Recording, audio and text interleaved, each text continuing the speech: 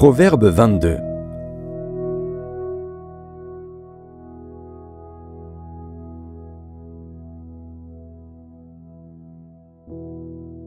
La réputation est préférable à de grandes richesses, et la grâce vaut mieux que l'argent et que l'or. Le riche et le pauvre se rencontrent. C'est l'Éternel qui les a fait l'un et l'autre. L'homme prudent voit le mal et se cache, mais les simples avancent et sont punis.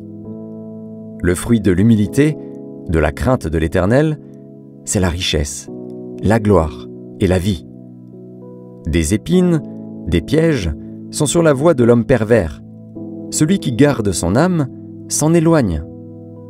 Instruis l'enfant selon la voie qu'il doit suivre, et quand il sera vieux, il ne s'en détournera pas. Le riche domine sur les pauvres, et celui qui emprunte est l'esclave de celui qui prête. Celui qui sème l'iniquité moissonne l'iniquité, et la verge de sa fureur disparaît. L'homme dont le regard est bienveillant sera béni, parce qu'il donne de son pain aux pauvres. Chasse le moqueur, et la querelle prendra fin. Les disputes et les outrages cesseront. Celui qui aime la pureté du cœur, et qui a la grâce sur les lèvres, a le roi pour ami. Les yeux de l'Éternel gardent la science, mais il confond les paroles du perfide. Le paresseux dit ⁇ Il y a un lion dehors, je serai tué dans les rues ⁇ La bouche des étrangères est une fosse profonde. Celui contre qui l'Éternel est irrité y tombera. La folie est attachée au cœur de l'enfant, la verge de la correction l'éloignera de lui. Opprimer le pauvre pour augmenter son bien, c'est donner aux riches pour n'arriver qu'à la disette. Prête l'oreille et écoute les paroles des sages. Applique ton cœur à ma science, car il est bon que tu les gardes au-dedans de toi et qu'elles soient toutes présentes sur tes lèvres.